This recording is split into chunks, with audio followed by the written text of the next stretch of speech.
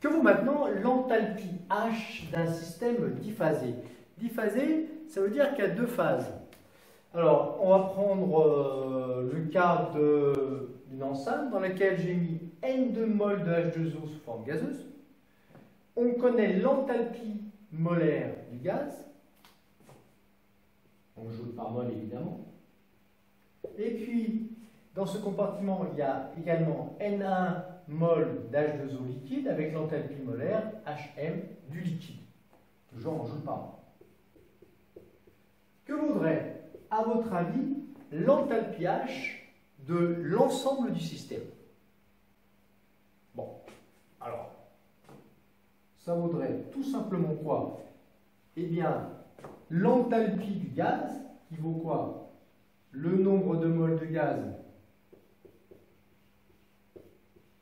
fois l'enthalpie molaire du gaz, plus quoi? Le nombre de moles N1 du liquide fois l'enthalpie molaire du liquide. Il faut faire la somme des deux.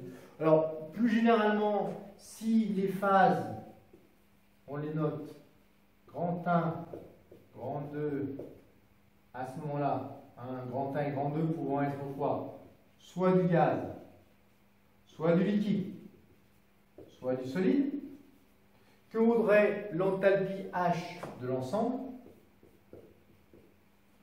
Eh bien, N nombre de moles de la phase 1 fois l'enthalpie molaire de la phase 1 plus le nombre de moles de la phase 2 fois l'enthalpie molaire de la phase 2.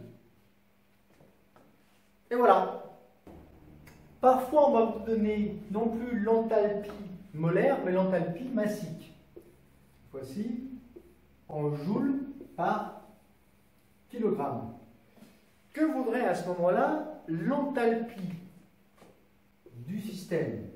Eh bien, la masse de la phase 1 fois l'enthalpie massique de la phase 1 plus la masse de la phase 2 fois l'enthalpie massique